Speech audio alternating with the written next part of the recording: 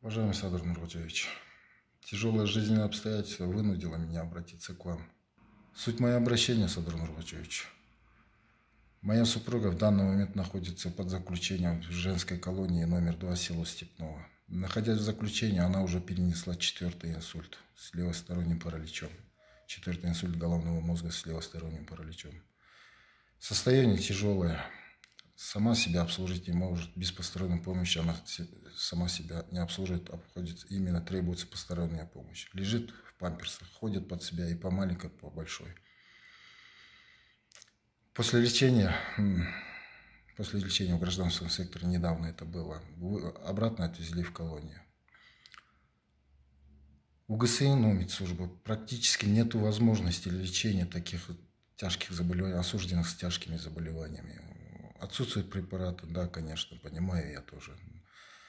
Нет узких специалистов, невропатологов, кардиологов. Препараты, которые требуются для, даже не для лечения, а для жизнеобеспечения супруги, мы передавали, передаем каждый месяц. Крик души, устал бороться, действительно.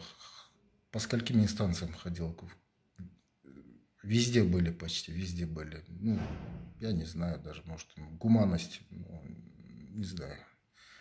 Нет, наверное, у нас гуманности в, нашей, в нашем государстве. По поводу, по этому поводу обращались в Воломединский районный суд с ходатайством об отсрочке исполнения наказания ввиду тяжелой болезни до выздоровления. Но, к сожалению, судья Касамалиев отказал удовлетворения нашего ходатайства. Я не знаю, в чем причина. Хотя на суде представители медслужбы ГСИН подтверждали и утверждали, что да, действительно она находится в тяжелом состоянии, что требуется длительное лечение, длительная реабилитация, что она может там умереть. Но судья эти все доводы не принял, к сожалению, к сведению.